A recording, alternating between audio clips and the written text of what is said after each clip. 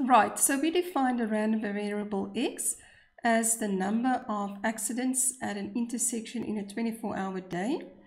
And we said that from historical data, the average number of accidents in a 24-hour day is 1.2. So x follows a Poisson distribution with parameter 1.2. Now we would like to calculate certain probabilities.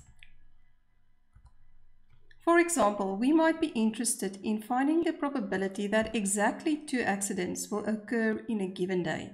So we want to find the probability that x is equal to 2. Now we substitute it into the formula for the Poisson distribution.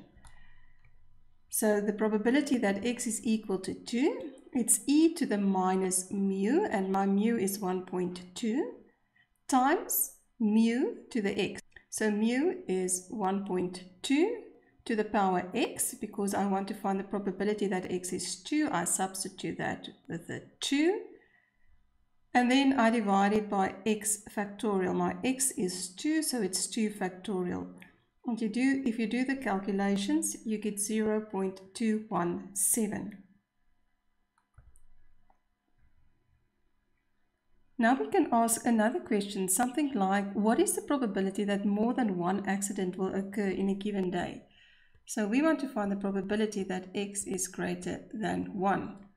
We can also write this as the probability that x is greater than or equal to 2. Now remember that for a Poisson random variable, the random variable can take on the value 0, 1, 2, 3, and it goes on and on. There's no upper limit. So we would rather write this probability as 1 minus the probability that x is less than or equal to 1, which is 1 minus the probability that x is 0 plus the probability that x is 1. Okay, so now we can just go and substitute into our formula for the Poisson distribution. Our parameter mu is 1.2 and our x, first of all, is 0 for the first one. And then for x equal to 1, I substitute my x with a 1. And that gives me a probability of 0 0.337.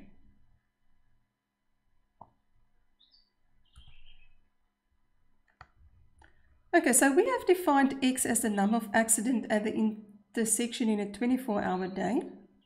Um, let's suppose now that we define another random variable, y, the number of accidents um, at the intersection in a week.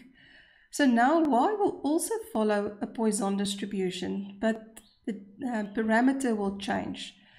We will multiply the 1.2, which is the average number of accidents in a 24-hour day. We will multiply that by 7 to get the average number of accidents in a week's time. So y will follow a Poisson distribution with parameter 8.4. And now we can again calculate certain probabilities. So we can say, what is the probability that exactly two accidents will occur in a given week?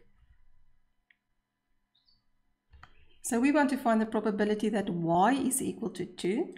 And now we substitute for our parameter 8.4 and our y value is 2, which we substitute into our formula to get 0 0.0079. And we can ask what is the probability that more than one accident will occur in a given week. So we want to find the probability that y is greater than 1. And we can write that as 1 minus the probability that y is less than or equal to 1. So we first find the probability that y is 0 and then the probability that y is 1. We add them together and subtract the sum from 1 to get a probability of 0.998. You will remember for the binomial distribution that there was a shortcut to find the mean and the variance for our random variable. The same is true for the Poisson distribution. The mean and the variance are very easy because both the mean and the variance for a Poisson random variable are given by the parameter mu. So for our example, the expected number of accidents in a 24 hour day is just equal to our parameter 1.2. The variance is therefore also 1.2 and the standard deviation is the square root of our variance which is 1.095.